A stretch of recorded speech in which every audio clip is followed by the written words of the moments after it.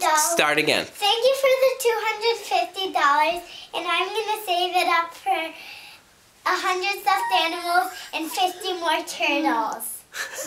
How was your birthday party? And my birthday party was great. And I walked open the pinata and I got the most candy. Yay! And what else? Do you want to say hi to Jack and that you love him? I love you.